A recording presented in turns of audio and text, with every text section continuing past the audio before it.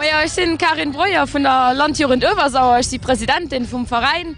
Also hat relativ viel mit der Organisation von einem Tourneier Autoball hautheitswolz zu dienen die die aus Anfang am Verein entstanden schon vier Jahren weil mir in Autos begeert Mombren die dann ein Fernseh gesinn hun mat der Idee kommen. Joren pu drüber geschwa dann ist van Nummer ist und de Mu Summegold für dat zu organisieren.